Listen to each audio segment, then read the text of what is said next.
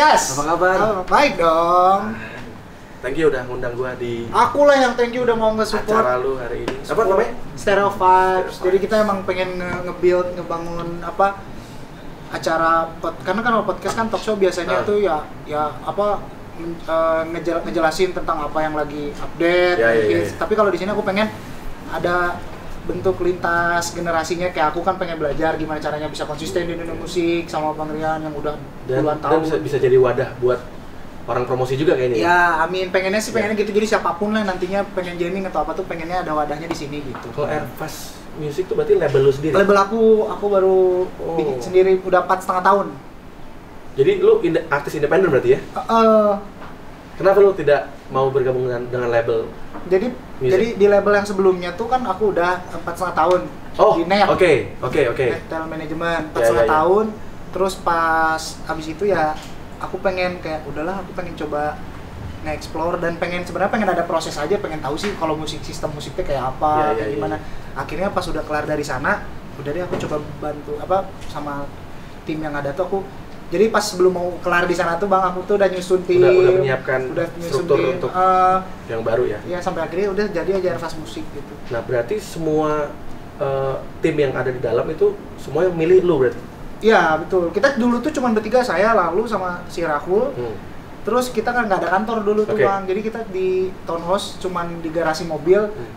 nggak ada mobil kan, jadi cuma dikasih meja sama whiteboard, udah gitu doang. Cuman sama kalau Iya, yang iya, di iya, podcast iya. dulu aku ngayal juga aja. Nah. "Eh, Ntar lu jadi CEO ya, kalau jadi CEO ntar ngurus gini, ntar kreatifnya saya melalui nanti kita wah nanti lo bakal gini, ini ini pencapaian kita bakal gini gitu. Berarti lu sekarang udah mendirikan perusahaan berarti ya? PT ya? Iya PT alhamdulillah. Nah, di PT lu sebagai Sebenarnya mah ya aku ya sebagai pemilik dan yang lainnya, oh, owner, cuman owner juga, ownernya- komisaris atau Ah, atau direktur di direktur bisa, komisaris bisa, saya Oh, mah di gitu. sini mah. Kalau di sini mah kekeluargaan sebenarnya. Oh, gitu Kalau ya? kamu lagi pengen apa hari ini komisaris, ya sok mang aja deh komisaris. Kalau di sini kita Enak gitu ya? Iya, Bisa ganti-ganti gitu ya? Iya. Si Rahul CEO, jadi dia Oke, ngurus oke. ke depannya dia. berarti, gitu. berarti dia dirut Ya, apa direktur utamanya dia ini dia orang kreatifnya ada lalu, jadi dia ngesap lagi lah.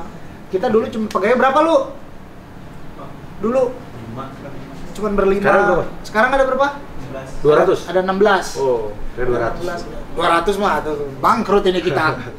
Alhamdulillah. tapi eh, sampai sejauh ini oke ya maksudnya Oke. dengan mengelola sendiri sebagai Eh, eh, bisa dibilang 360 iya. uh, musician ya karena Iya. lu mengurusi semua kan manajemen lu sendiri label lu sendiri, Label jadi album pun juga album sendiri semuanya apa akhirnya. uh, uh, apa kayak cost production semuanya lu ya berarti ya Iya, akhirnya akhirnya jadinya kita tahu kayak misalkan eh, setahun ini tuh kita mau ngapain, Hmm. terus harus ngeluarin apa, terus yang paling senangnya juga akhirnya aku jadi tahu kalau misalkan di label tuh ternyata kita harus jadi tahu belajar lebih tentang sistem kayak gimana, Iya, strategi plan buat rilisan, promosi gimana. promosi, terus mikirin eh, project ini budgetnya jangan terlalu gede, ada Oke. yang jadi fokus fokus tracknya yang budgetnya nggak Iya, apa-apa iya, deh. iya. Jadi akhirnya kita tahu gitu bang. jadi apa apa lebih bisa bijaksana dalam Uh, uh, dan, dan yang paling senangnya itu jadi bisa nge-explore aja gitu kita mau ngapain aja tuh akhirnya jadi bisa kalau mau kolaborasi sama siapa udah nggak ada nggak ada kalangan. apa uh, kan biasanya kan kita kalau dulu ya. aku kan biasanya kalau di level-level itu biasanya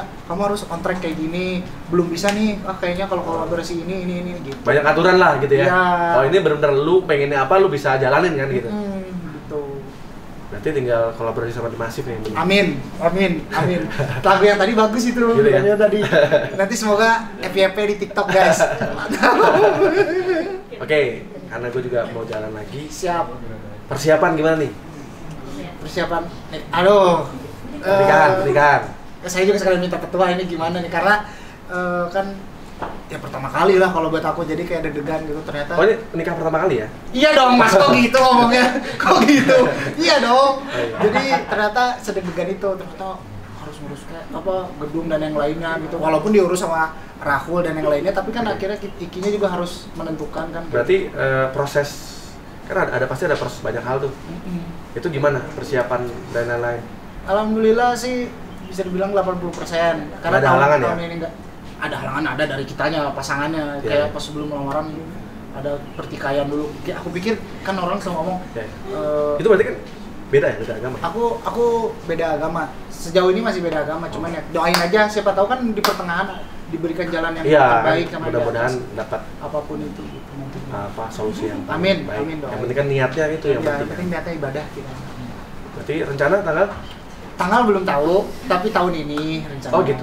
Oh, bukannya tunangan udah lama kan? Udah, tunangan mah udah. Oh, berarti lama. tinggal nentuin tanggal aja ya? Tinggal nentuin tanggal. Oke. Sip. Serunya adalah memperpadukan kultur dari Bali dan Oh, iya. Sunda gitu kan. Aku Sunda, dia Bali. Unik tuh, Sunda Jadi- dan Bali ya. Jadi aku pengen ada unsur itunya juga. Amin mudah-mudahan lancar Amin. dan segala yang direncanakan semuanya tercapai. Amin. Amin. Amin. Salam buat Mahal ini juga. ya. Siap, nanti disalamkan. Oke. Sukses buat Rizky Febian Terima kasih. dengan semua urusannya. Amin.